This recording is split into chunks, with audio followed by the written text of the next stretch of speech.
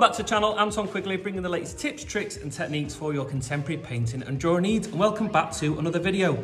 On today's video, I'm gonna give you my top six techniques so you can fill those sketchbooks. Hopefully we're gonna make them look really exciting and also serve as a purpose for larger scale pieces of work. Anyway, I've talked way too much, so without further ado, grab a coffee, sit back and enjoy the video. See you later. Okay, so we're ready on to the first one, and this one is a multiple drawing, basically surrounding one idea. So before you hone in on one particular thing, maybe explore things that are related to that certain subject. As you can see here, I'm looking at bins and mundane objects, because that's what I'm interested in, try to make them elevate them, make them look a little bit more interesting. And actually, I've done a number of things on here. I've not done them too big. I've tried to separate them around the page and almost just give it more of a flow around the page. Some of them actually go on to the other side and it just creates more of a rhythm through that, that sketchbook. And also leaving some white space that you can write some notes or annotation next to them. Now, as I go through here, just looking at the cones and also some roadworks, just going to start thinking about the second page that I was talking about. Now, in this double page, what we're thinking about, it's all about drawing one thing, but multiple times. So you'll see some of my drawings are really loose and hardly anything there, just looking at the basic shapes. Others looking at quality of line. Here I did one minute and three minute drawings, so time drawings, and then slowly getting more refined as I go along um, and that's really important when looking at it. This time I looked at Oxford Road Station. It also reminded me of L.S. Lowry's work, looking at the stairs, so that was why my point of interest.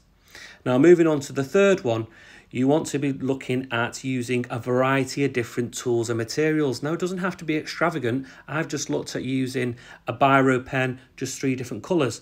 And here I've looked at uh, the Dunlop factory in Manchester, but also looking at Castlefield, which is the you know heart of the industrial town, really, to be honest. And I really love these uh, columns and bridges and how they overlap one another. And I actually tried to do that in the work also. As you can see here, I've done quite a nice refined drawing using the blue biro, and then it gets more loose.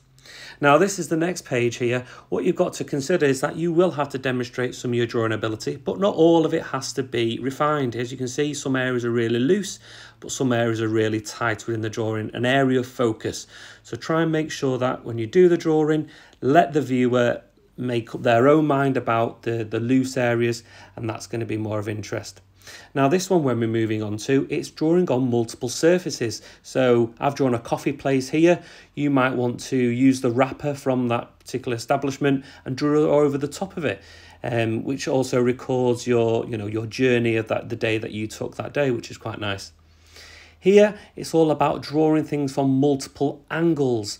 So this time I've chosen to use a telephone box as my subject, looking at the graffiti and I've taken multiple images and done some multiple drawings to see which uh, view is my favourite because if you don't do that, how are you going to know what the best composition is when it comes to your final painting? So you'll find me always trying to work out what is the best composition for the drawing and by doing these little sketches I can find out what I'm interested in.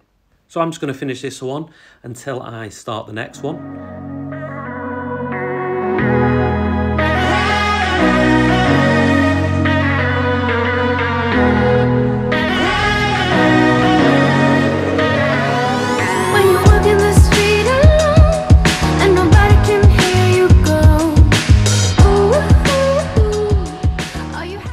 Okay, so we're moving on to the next one, and this one is all about being selective. So there's many things when you take a picture um, within your image, or maybe just drawn from life, it's all about being selective in what you want to draw. And so you've got to really hone in on certain things. And what it means that when I'm doing the drawing here, I'm not putting anything else at all bar the thing that I want in my drawing. Um, and that what that's going to help me do is come to a conclusion if that's something you are interested in. As you can see here, I've chosen the newspaper stand. It's a large picture and then I've zoomed in, took that bit that I wanted from that picture and then recreated it. So it's really important that you do that because that's going to help you decide what you like and what you don't like. And also it's really quite a nice clean image, just having that precise uh, drawing in the middle there and nothing else to distract it. Now here I'm just having a go at drawing a, a concrete wall which had some graffiti on which I thought was quite nice. Also the sun was kind of beaming down on it um, and I thought that was quite interesting so I thought I decided I'd take a couple of pictures and then see if it would look quite cool in a painting. And there you go, that's the picture that I took. Sometimes I take them in black and white, just adds a little bit more dramatic, and it also helps me with the hues and the tones if I'm drawing from them.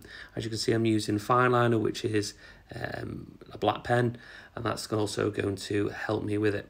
Now, just talking about the black pens that I'm using, I'm just using this one, which is a 0.01, and I've also got another one, which is a thicker um, tip, and that's going to help me get those dark areas in quickly rather than taking the time shading things in. And that's what you want to try and get away from in the drawing especially if you want to record it quickly. So I'm just going to let you watch me complete this drawing. Hopefully you find it quite interesting and also how you start a drawing. Sometimes I'll put pencil in the background sometimes I just draw it straight off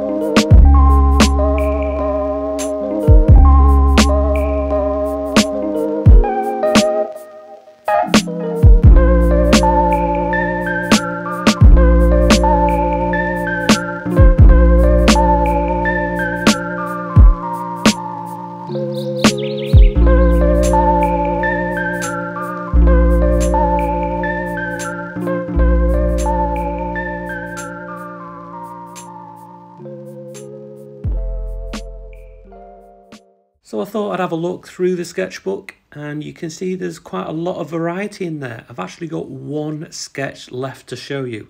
So I'll show that in a second. But you can see using a variety of different sizes of drawings, it just makes it look interesting to look through, especially with some annotation added, it'll look quite full.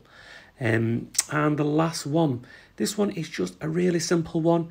All it is is a continuous line drawing. I've done it before, um, but a definite staple to have in a sketchbook. And don't feel like you just have to do a quick one. Try doing half an hour, maybe even an hour one. Force yourself to analyze every single bit of detail within that drawing and you'll, you'll be amazed with the results and what you can achieve. Here I'm just doing a newsagents, uh, which is quite a rundown um, place and I thought it was quite interesting. But that's it guys. Thanks for watching. Well, that's it guys for the tutorial and showing you how to record your ideas in your sketchbooks. Hopefully it was interesting, hopefully it was exciting and it's made you enthusiastic about working in your sketchbooks and also maybe progressing onto larger scale piece of work. One thing I must tell you though, those six techniques that I've told you, there are so much more and I'm tempted to do a part two. So please look out for that one. But I'll leave it there guys. If you like this video, please give us a like and if you haven't already, subscribe to the channel. But until next time, see you later. Bye.